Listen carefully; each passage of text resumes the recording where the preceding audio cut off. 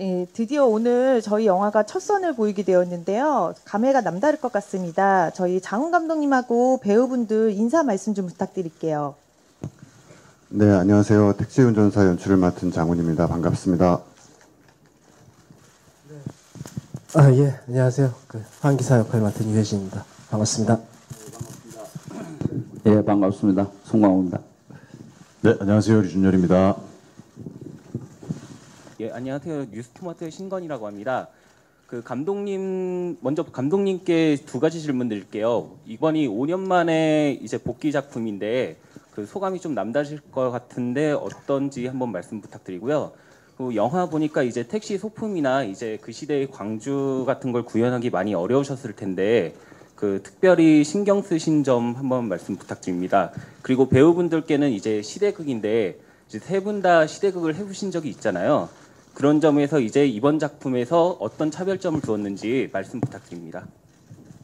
네, 그 고지전을 개봉했던 게 2011년 7월이었는데요. 한 6년 만에 이렇게 작품으로 만나 뵙게 된 것 같고요. 그래서 되게 오랜만에 그 이렇게 어 작품으로 관객분들 만나게 된 어떤 기회고 또 오늘 처음 또 선보인 자리여서 너무 어, 떨리고 설레고 긴장도 되고 그런 것 같습니다. 그 광주 어, 80년대를 그 재현하는 부분은 그 지금 사실 아, 대한민국에 이제 그 80년대 풍경을 가진 어떤 공간들이 많지는 않아서요. 전국적으로 이제 헌팅팀들이 장소를 그 뭐 후보지를 뽑아서 선택하고 그리고 미술팀이 그 이제 만섭이 그 길로 운전을 하면서 지나치는 거리들을 어, 꽤 긴 구간들을 세팅을 하고 그리고 CG도 같이 그 이렇게 도와서 그 당시의 풍경을 완성하려고 그렇게 했습니다. 네.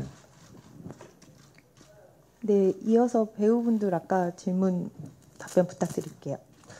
뭐저 같은 경우 뭐 차이점을 둔다라기보다는 그냥 어, 어떻게 또 그 이 역에 어, 이 작품에서 어, 그 역을 그냥 크게 그 누가 안 되게 표현을 할 수 있을까 예, 그런 고민이 있었던 것 같습니다. 예. 예, 먼저 그, 굳은 날씨에 이렇게 많이 와주셔서 대단히 감사하고요. 그 글쎄요, 뭐 시대극이라고 해서 특별히 배우들이 뭐 마음이나 어떤 그 다른 태도를 가질 필요는 없다고 생각하고 어 단지 이제 어좀그 현대사에서 참 아픈 비극을 어 그리는 영화이다 보니까 어 근데 그런 어떤 심리적인 측면 그러니까 꼭 비극을 어, 꼭 슬프게만 이렇게 어, 묘사를 한다든지 아니면 그 사실 그 자체의 어떤 어, 어, 부분들을 이제 그린다든지 그런 부분들보다는 어, 좀더 이제 저희들이 이 영화를 통해서 무엇을 얘기할 것인가라는 측면에서 좀 어, 표현 방법들을 좀 좀 더 어, 관객분들에게 어, 희망적이고 어, 좀더 어, 진취적인 어떤 그런 느낌의 어떤 영화를 만들고 싶었던 것 같습니다. 예. 네. 어, 저도 마찬가지로 뭐 시대극이라고 해가지고 또 앞선 작품들과 차별점을 크게 두지는 않았고요. 역시 시대극에서 좀 중요한 부분 중에 하나는 역시 뭐 고증이나 뭐 이런 지점이었던 것 같아요. 그래서 뭐 외적인 모습부터 내적인 모습까지 고민을 많이 했는데요. 특히 내적으로 어, 실제 나라면 그때의 그 시절에 그 광주의 한 학생이었으면 어땠을까라는 거에 대해서 많이 고민하고 작품을 준비했던 것 같습니다. 네, 답변 감사드립니다. 저희 이어서 기자님 질문, 예, 저 뒤쪽에서 받겠습니다. 어디까지가 이 영화의 이제 실화이고 어디까지가 허구인지 좀 묻고 싶습니다.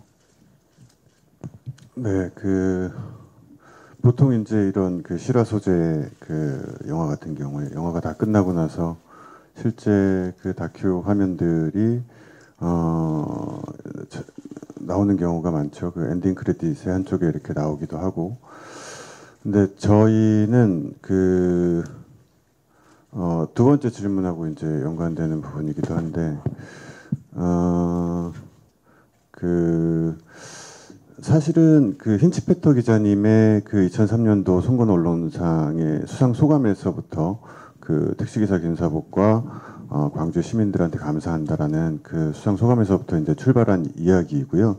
그거를 영화적으로 이제 그 그분의 어떤 그 실화를 베이스로 어 극화해서 이제 시나리오 작업을 어, 하였고요. 그래서 처음에는 사실 그 어, 힌치페터 기자님의 이름을 그 직접 사용하지는 않았었어요.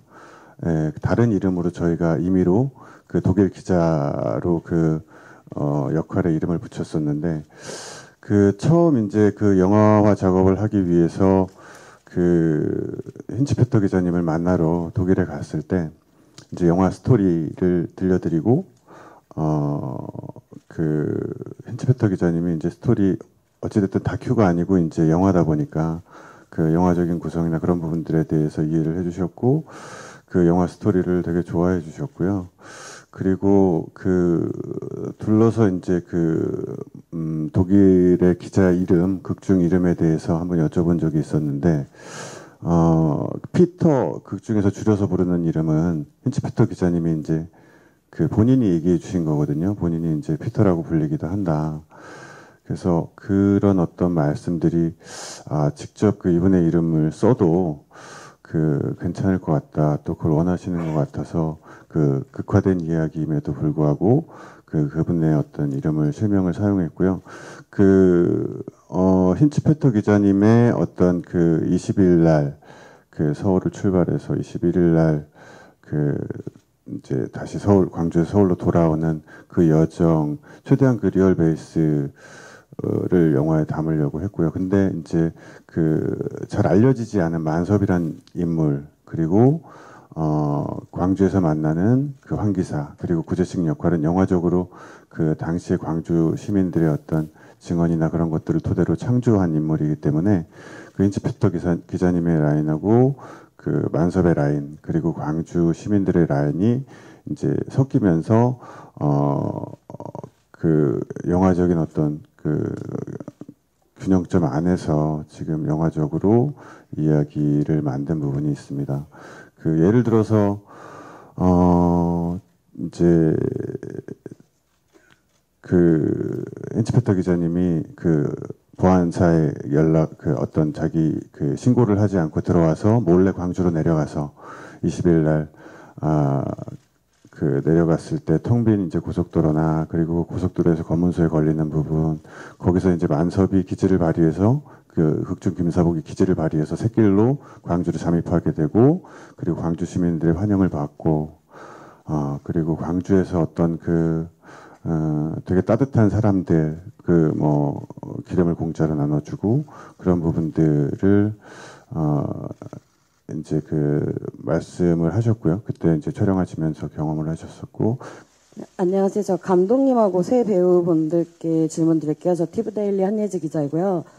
어, 감독님께 먼저 질문 드리면 영화가 인물에 초점을 맞추고 있지만 그 배경을 그리는 데에서 광주 시민들이 그때 총살을 당하고 이런 장면들은 굉장히 적나라하게 그려진 것 같아요. 그래서 감독님이 이 영화를 담아내실 때 좀 어떤 점에 초점을 둬서 이 부분만큼은 꼭 그려내고 싶다 이렇게 생각하신 점이 있다면 그것이 무엇인지 궁금하고요.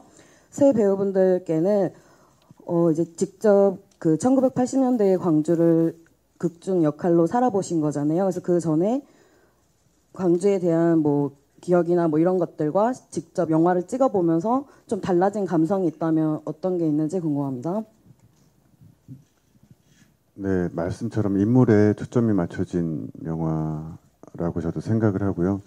근데 이제 그 인물이 처음에 어떻게 보면 우리랑 되게 비슷한 보편적인 어, 소시민이고 보통 사람인데 그 서울에서 전혀 정보가 광주에 대한 어떤 사실을 모르고 있는 상태에서 광주에 내려가서 처음 그 상황을 그 맞닥뜨렸을 때 어떤 느낌들을 받게 되고 그 거기서 만난 사람들과 또 상황들의 어떤 관계에 의해서 어떤 심리적인 변화를 갖게 될까 이제 그런 부분이 아마도 관객분들이 이 영화를 보시면서 어 그 감정적으로 따라 따라가면서 이제 볼 수 있는 부분일 거라고 생각을 하는데요. 어 근데 그런 이제 어떤 한 인물의 심리적인 변화를 어, 보여주기 위해서 그 어떤 인물을 둘러싼 세계가 제대로 보여지는 것은 매우 중요한 부분인 것 같고요. 그 아무래도 이제 연출자로서 그 한국 현대사의 굉장히 비극적이고 슬픈 사건이었기 때문에 그것을 다루는 부분이 너무 조심스럽고 또 부담도 많이 되고 그런 부분이 있었지만 어쨌든 그 어, 그렇다고 해서 너무 안 보여줄 수 있는 부분은 아닌 것 같고 정확히 보, 보여줘야 되는 부분들은 또 보여줘야 된다는 어떤 그 판단하에 그 지금 정도로 어떤 광주의 그 당시 5월의 모습이 담기지 않았나 그렇게 생각합니다. 네. 이어서 배우분들 답변 부탁드릴게요. 이 저는 뭐 너무 어렸을 때라 그렇게 그 어렸을 때는 그 당시에는 그런 그 어, 민주화 운동에 대한 그런 기억은 그냥 TV로 그냥 화면 뭐 버스 있는 그런 유명한 그, 그 영상 있지 않습니까? 뭐 그 정도만 보고 그때는 몰랐었는데 이제 뭐 어, 배워가면서 커가면서 좀 알게 됐죠. 근데 전 사실 오늘 어, 그동안 본 것도 많고 느낀 것도 많지만 그 오늘 더 좀 많은 걸 저도 이제 영화를 처음 봤는데요. 예, 더 그 물론 이제 극화된 부분도 있고 그렇지만 어, 그때의 그 시민군뿐만이 아니라 시민들의 그 한 개인 개인 그분들의 그 숨은 어, 그 희생이 저렇게 있었겠구나라는 거를 또 오늘 저는 조금 더 어, 짙게 생각을 한, 게- 하게 된 것 같습니다. 네. 어, 다들 비슷하겠지만 저는 그때 중학교 2학년 때라고 생- 기억이 됩니다. 그래서 아침에 그때는 뭐 어, 유해진 씨는 그때 TV가 계셨던 모양이 TV가 있었던 모양이네요. 저도 저 동네에서 봤습니다.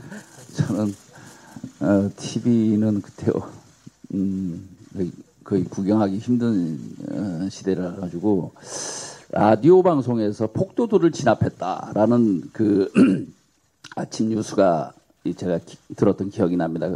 그때 제가 첫 번째 들었던 그 기억이 휴 다행이다. 아, 그, 그, 그 중2 때 그때, 아우, 드디어 이제, 어, 진압이 됐네. 어, 그리고 이제, 어, 홀가, 홀가분한 마음에 학교를 갔던 그런 기억이 납니다. 어, 그만큼, 어, 그 왜곡된 어떤 보도와 어, 그 통제로 인해 가지고 눈과 귀를 막았던 그 시대가 아니었나 생각이 들고 그래서 어, 촬영을 물론 그분들의 고통과 비극을 어떻게 다 깊이 알겠습니까만 그래도 촬영을 하면서 어, 참 어떤 무거운 마음 아, 그 그분들 그 희생당하시는 많은 분들의 어떤 고귀한 어떤 정신들이 어, 조금이나마 어, 어, 진정성 있게 어, 영화로 담아서 많은 분들에게 진실을 알리고자 나름대로 에, 어, 연기하지 않았나 뭐 많이 부족했지만 그런 점에서 조금의 어떤 마음의 빚이 있었다면은 그런 것들이 조금이라도 아주 정말 어, 어, 정말 작은 어, 마음 어, 빚이라도 좀 덜 수 있는 어, 그런 작품이 됐으면 좋겠습니다. 예. 어 저는 두 분과 다르게 그 그때는 아직 제가 태어나지 않은 시기여가지고 어, 어떤 그런 구체적인 기억은 없는데요. 저도 사실은 어렸을 때 이렇게 그 인터넷 상에서 이제 이런저런 뭐 기사나 뉴스들을 보면서 어, 제 어렴풋한 기억으로는 그 뭐 이제는 말할 수 있다 뭐 이러면서 이렇게 사진들 몇 장이 이렇게 막 공개되고 막 이랬던 기억이 있어요. 그래서 이 사진을 보면서 어 뭐지 이러면서 이제 찾아보게 되면서 그때 이제 에, 알게 되었던 것 같은데 어 그러면서 이제 시간이 흐르고 하면서도 이 영화를 하기 전에 에, 푸른 눈의 목격자라는 다큐멘터리를 실제로 제가 방송으로 본 적도 있고 하면서 아 참 음, 가슴 아픈 기억이 있었구나라는 기억이 있는데요. 어 저는 뭐 사실 이 시나리오 자체를 읽고 나서 이 영화에 참여하게 된 것 자체가 굉장히 감격스러웠던 순간이었던 것 같습니다. 그래서 네. 그 감정하고 정서를 느끼는 포인트하고 타이밍이 다른 배우 등장인물들하고 다른데요. 그 중간에 그 마지막 부분에 어느 정도 공유된 감정을 가지고 있다가 자신의 그 연락처와 이름을 밝히지 않음으로써 다시 빠져나가게 되거든요. 그러니까 한 번의 변화가 아니라 두 번의 변화를 통해서 인물하고 영화를 굉장히 고급스럽게 표현하게 된 부분이 있는데요. 실제 감정입해서 이렇게 연기를 하셨을 때 그 부분을 어떻게 느끼고 어떻게 표현하셨는지 알고 싶습니다. 어, 영화 속에서 이제 그 이제 뭐 극중 이름은 김만섭으로 나오지만 실제로 이제 김사복이라는 실, 실제로 이제 힌츠페터 기자분이 받았던 연락처가 그래서 지금은 그분이 뭐 지금 살아 계시는지 아니면은 돌아가셨는지는 잘 뭐 확인이 안 되지만 어, 그분의 마음도 똑같지 않았을까? 그게 어떤 어, 두려움보다는 어, 어, 가장 그 자연스러운 어떤 인간의 감정을 가지고 있지 않았나 생각이 들고 어, 저도 이제 이 택시 운전사라는 영화가 어, 물론 다른 배우분들의 역할도 있지만 이 김만섭이라는 주인공이 어떤 거창한 정치적인 이념과 뭐 사회적인 발언 이런 걸로 이 어떤 사건과 인물을 대한다고 생각은 들지 않았습니다. 어, 그렇지만 어, 가장 이 사람에게 중요한 것은 어, 뭐 택시 기사의 어떤 도리든 어, 인간적인 도리든 가장 그살 어, 사, 사람이 살아가는데 가, 가장 무엇이 중요한 것인가를 정확하게 알고 계시지 않았나 어, 그런 점에서 이제 어, 그 어떤 감정이나 상황을 대처했던 것 같고요. 어, 그 김사복이라는 뭐 본명인지 뭐 가명인지 모르겠습니다만 그를 어, 적어줄 때는 그만큼 또 그때만큼의 또 어 그 그분의 어떤 처한 어떤 상황들 속에서 그게 자연스럽게 나온 게 아닐까 저는 그렇게 자연스럽게 그렇게 받아들이고 연기했던 것 같습니다. 네, 답변 감사드리고요. 저 이번에 왼쪽에 질문 있으신 분 있어서 예. 예, 영화평론가 황진미입니다. 감독님께 두 가지 여쭤보고 싶습니다. 어, 이게 러닝 타임이 137분 이렇게 어, 보통 영화에 비해서 상당히 긴 편인데요.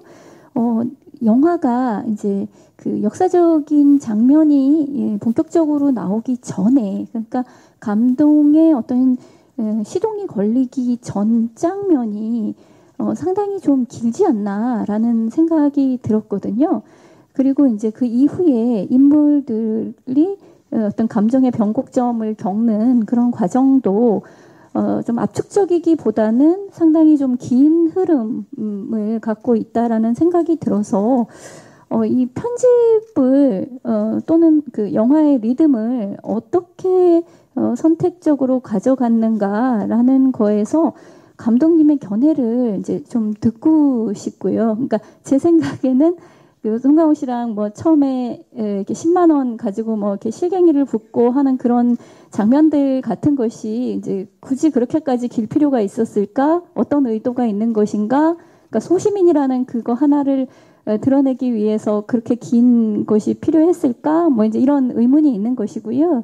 두 번째는 제목이 택시 운전사이고 물론 가장 중요한 인물이자 관객들을 끌고 들어가는 그 외부인의 눈의 역할을 하는 것은 송강호 씨 역할인 것은 맞는데 여기에서 또 굉장히 중요한 인물이 이 외신 기자 피터의 역할이잖아요.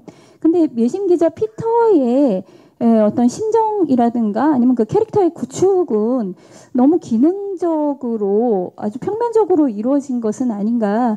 이를테면 이렇게 앞부분에 이 사람에 대한 어떤 관객의 호감이 굉장히 좀 덜 느껴지는 그런 대목도 많고, 그러니까 이 사람이 정의로운 또는 기자 정신에 투철한 사람이라는 것은 알겠지만 이 사람에 대한 인간적인 매력이라든가 어, 그런 감정 이입의 순간 같은 것이 그렇게 많이 드러나지 않는 것도 감독님께서 나름대로 선택을 하셔서 그렇게 그리신 것 같은데 거기에 대해서 좀 설명을 해주셨으면 좋겠습니다. 네, 그, 어, 영화가 좀 이제 그 러닝 타임이 137분이다 보니까 다소 그 길게 느껴질 수 있는 부분도 그, 어, 있다고 생각을 하고요. 근데 이제 그, 어, 제가 이제 편집을 하면서 느꼈던 거는 그 영화마다 이제 호흡이 빠른 영화가 있고 또 이렇게 천천히 더 바라보는 영화가 있고 영화마다의 어떤 호흡이 있는데 그, 그 택시에 가장 잘 어울리는 호흡은 지금 그 완성본으로서의 편집 호흡이 아닐까라는 거를 이제 여러 버전들을 편집을 하면서 그런 결론을 내리게 됐고요. 그 만약에 이제 80년 5월의 어떤 광주의 모습을 어, 보기 위해서 그 이제 그 부분을 기다리면서 이제 영화를 보신다고 하면 사실은 말씀처럼 그 앞부분에 이제 그 캐릭터의 설명에 관한 부분들이 좀 길게 느끼실 수도 있는 것 같아요. 근데 이 이야기는 사실 그, 어, 만섭이라는 인물이 전혀 이제 거기에 대한 정보가 없이 내려가서 거기에서 이제 처음 그 듣지도 못했던, 듣- 듣고 보지도 못했던 어떤 그런 상황들을 겪는 그런 방식으로 진행된 이야기다 보니까 앞부분의 어떤 그 캐릭터 설명이 충분히 어, 필요했다고 생각하고 그런 어떤 부분들을 따라서 관객이 만, 만섭이 그 어, 심리적인 변화를 감정적인 변화를 일으키는 지점들을 같이 감정이입해서 갈 수 있지 않을까 그렇게 판단을 하고 어, 작업을 했던 것 같고요.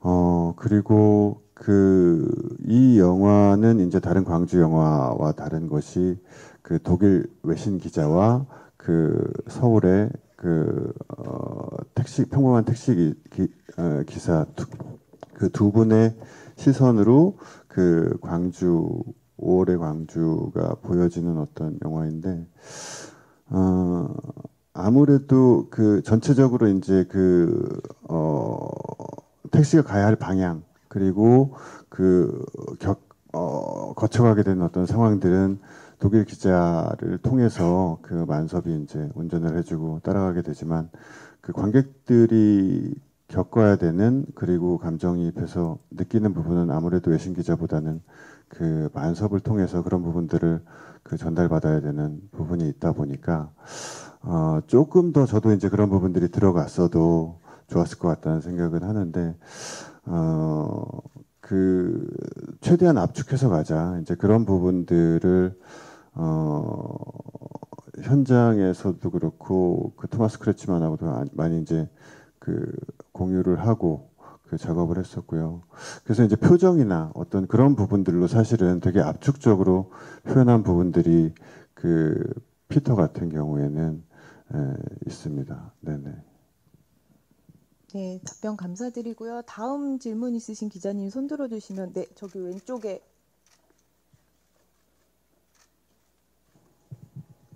네, 안녕하세요. SSTV 홍예민 기자라고 합니다. 영화 재밌게 잘 봤고요. 저 일단 감독님께 먼저 질문 드릴게요. 조용필 씨의 노래가 여기 단발머리가 극 초반에 나와요. 그 초반에 그 음악을 삽입하시게 된 이유도 궁금하고 아무래도 최초로 영화에서 쓰이다 보니까 그 사용을 어떻게 하게 됐는지도 좀 궁금하고요. 나 배우 세 분께는 토마스 크레치만 씨랑 같이 호흡을 맞추셨는데 아무래도 외국 배우다 보니까 한국 배우와는 또 다른 호흡 을 보여줬을 것 같아요. 그래서 그 뭐 촬영 에피소드는 없었는지 호흡은 어땠는지 말씀 부탁드릴게요. 네, 그 어, 단발머리 단발머리 같은 경우에는 그 죄송합니다. 1979년도에 발표된 곡인데 당시 그 시대의 명곡이고 어, 당시 시대적인 어떤 느낌을 그 가질 수 있는 대표적인 곡이라서 사실 영화가 시작되면서 관객들이 이제 그 단발머리를 들으면서 그 시대적인 분위기로 그 같이 들어갈 수 있으면 좋겠다. 그래서 이제 앞부분에 단발머리를 사용을 했고요. 사실 단발머리는 시나리오 단계부터 이제 써놨는데 어, 써놓고 나중에 이제 그것을 허락을 받아야 되는데 그 주변에서는 이제 그 어, 조용필 씨가 그 사실은 영화에 본인 음악을 잘 허락을 안 해주신다고 그런 얘기들을 많이 하시더라고요. 쉽지 않을 거다라는 얘기를 많이 하셨는데 저희가 그때 이제 그 시나리오랑 그리고 그때 당시에 이제 송강호 선배님이 하시기로 결정돼 있는 상태였는데 그런 상황들을 이제 전달드렸더니 어, 너무 빨리 답변이 왔습니다. 그래서 한 뭐 일주일 안에 하루 이틀 안에 답변이 왔던 것 같아요. 서영에도 좋다고. 그래서 너무 의외였고 어, 단발머리를 쓸 수 있어서 너무 그 좋았고요. 그 이 자리를 빌어서 그 어, 영화의 단발머리를 사용할 수 있게 허락해 주신 그 조영필 씨께도 감사의 말씀을 드리고 싶습니다. 네, 이어서 토마스 크레치만 배우하고 연기에 대해서 답변 부탁드릴게요. 네, 뭐전 보셔서 아시겠지만 뭐 이렇게 크게 이렇게 한 게 없어갖고요. 전 예. 그냥 뭐 저는 그냥 바디랭귀지로 했던 것 같고 그 평상시에 촬영장에서는 정말 그 본받을 게 많은 분이었던 것 같아요. 그 낯선 땅에 와가지고 정말 좀 힘들 텐데 어, 날씨도 작년에 되게 더웠잖아요. 근데 진짜 불만 없이 이렇게 잘 적응하시면서 이렇게 또 막 자기가 찍었던 이렇게 사진도 보여주고 그러면서 좋은 시간을 저는 많이 보냈던 것 같습니다. 예. 예, 비슷하고요. 네, 그분이 이제 뭐 잘 아시겠지만 헐리우드에서 많은 작품들을 세계 각지에서 촬영하다 보니까 어, 뭐 특히 한국이라는 나라에서 어, 작품을 한다고 해서 뭐 생소하고 어, 뭐 그런 느낌은 아니었습니다. 그만큼 또 국제적이고 세계적인 배우이시기도 하고 어, 단지 뭐 말씀하셨듯이 작년에 너무 폭염 때문에 고생하신 그런 기억이 나는데 어, 뭐 아주 그 분위기 좋게 어, 그리고 어, 오히려 저희들이 배려를 해줘야 되는데 에, 그분이 에, 우리들을 배려하는 장면들도 많았고 그만큼 어, 경험과 어떤 어, 인격이 훌륭하신 분이었습니다. 어, 저도 뭐 일단 할리우드 영화에 대해서 이렇게 궁금한 게 굉장히 많았었는데요. 많이 해소할 수 있는 궁금증을 많이 해소할 수 있는 시간이었고요. 음, 일단 현장에서 굉장히 유쾌한 모습이 기억에 남아요. 그래서 어, 어떨 때는 제가 가장 막내였는데 어떨 때는 굉장히 그 막내보다도 더 장난기가 가득해가지고 현장을 좀 이렇게 분위기를 많이 이렇게 띄웠던 기억이 있고요. 또 반대로는 촬영에 임할 때는 굉장히 그 진지한 눈빛과 어떤 연기에 대한 그 열정이 그 정말 그 더위보다도 더 뜨거울 정도로 느껴져가지고 아 이렇게 즐기면서 촬영을 하는 게 연기에는 굉장히 큰 도움이 되고 어, 어떤 힘든 상황을 잘 이겨나가는 뭐 우리보다 더 특별한 힘든 상황이 있었겠죠 타지였기 때문에 거기에 대해서 이렇게 즐겁게 공감하고 어, 일할 수 있다는 거에 대해서 되게 신선한 충격 아닌 충격으로 다가왔고요. 그래서 좋은 경험이었던 것 같습니다. 네. 이 자리에 함께 해주신 분은 지금 토마스 크리치만 배우에 대해서 말씀 주셨고요. 네, 저희 마지막 질문에 대한 답변 다 해주셨고요. 저희 그럼 마지막으로 감독님하고 배우분들 인사 말씀 듣고서 마무리하도록 하겠습니다. 감독님부터 말씀 부탁드릴게요. 네, 그 오늘 이렇게 영화에 관심 갖고 와주셔서 너무 감사드리고요. 아, 택시 운전사 많은 관심 부탁드립니다. 감사합니다. 예, 어, 얼마 전에 그 어느 토크에서 그 제가 뭐 그런 얘기를 했던 것 같은데 뭐 소중한 사람들의 소중한 얘기를 그린 소중한 영화라고 저는 예, 생각합니다. 예, 그 잘 이렇게 보도해 주셨으면 감사하겠습니다.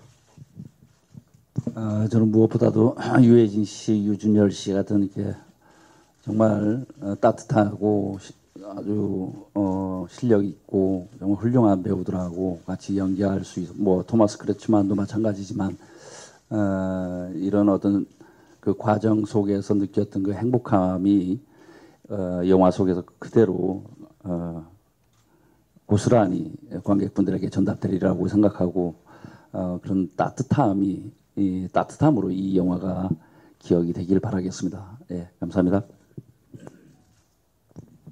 네, 이렇게 긴 시간 동안 함께 해주셔서 너무너무 감사드리고요.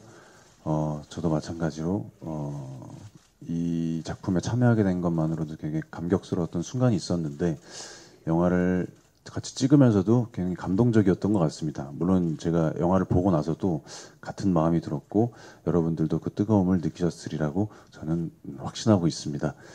어, 고맙습니다. 네, 기자간담회는 이것으로 마무리하고요. 저희는 잠시 여기 자리 정리하고서 포토타임 시간 가지도록 하겠습니다. 잠시만 물러났다 다시 오겠습니다.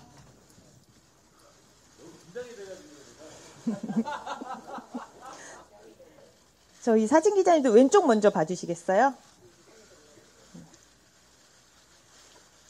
그다음에 정면 봐주시고요.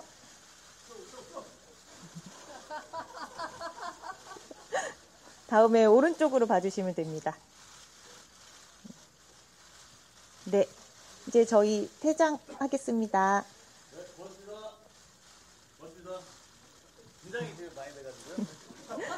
저 이어서 유해진 씨 촬영 진행하겠습니다.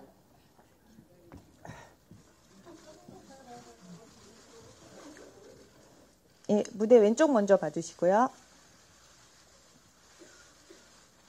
네, 가운데 봐주시고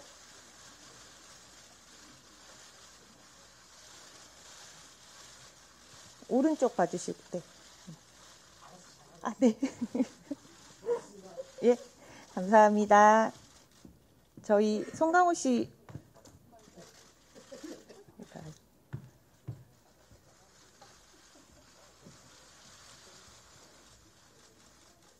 네, 왼쪽 먼저 봐주시고요. 자, 가운데 봐주시고, 이제 오른쪽 봐주시고요. 저희 이어서 배우 세 분 함께 촬영하겠습니다. 두 분 무대 위로 올라와 주세요.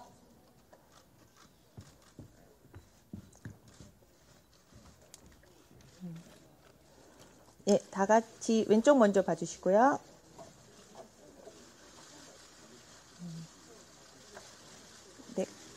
가운데 봐주시고요.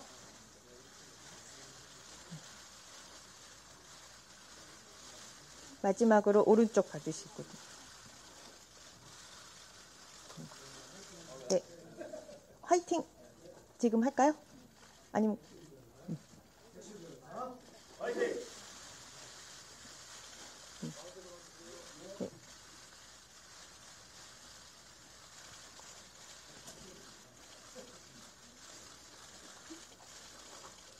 네, 저희 마지막으로 감독님하고 한번 단체 촬영 하겠습니다. 감독님 올라와 주세요.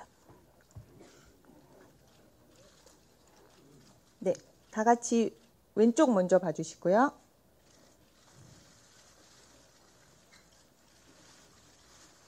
네, 가운데 봐주시고요.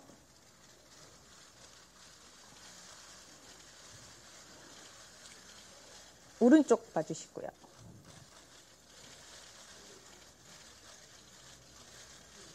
네, 마지막으로 감독님하고도 함께 화이팅 한 번만 외쳐주시기 바랍니다.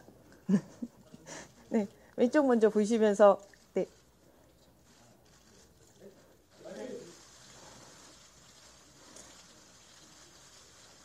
네, 가운데 보시고.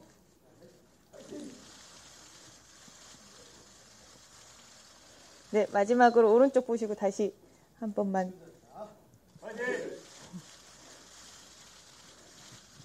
네, 감사합니다. 예.